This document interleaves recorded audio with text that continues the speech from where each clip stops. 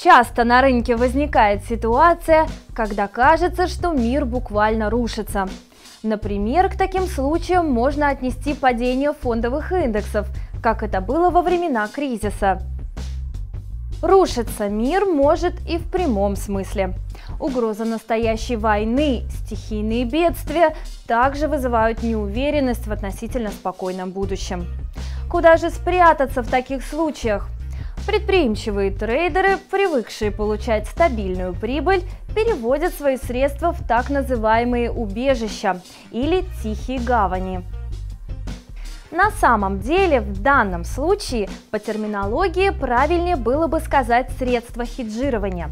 Но трейдеры выбрали для себя более говорящие понятия. К числу убежищ традиционно относят валюты с большой ликвидностью – как правило, это валюты с наиболее стабильной экономикой и низкой процентной ставкой.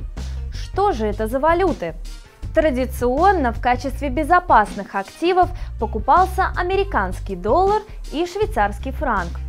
Однако в последнее время список пополнился и японской иеной, так как во время финансового кризиса 2008 года Япония продемонстрировала финансовую стабильность и своевременную реакцию правительства на меняющиеся экономические условия. Правда, само правительство не радует дорогая национальная валюта. И по этой причине в 2011 году Банк Японии периодически выходил на рынок с валютными интервенциями. Центробанк целенаправленно продавал крупные партии японской иены за доллары США с целью снизить курс японской валюты. Кстати, по причине частых интервенций швейцарского национального банка франк выбыл из списка валют убежищ. Последнее время, учитывая сигналы о силе экономики Новой Зеландии, трейдеры стали активно скупать новозеландский доллар и валюту соседней страны – Австралии.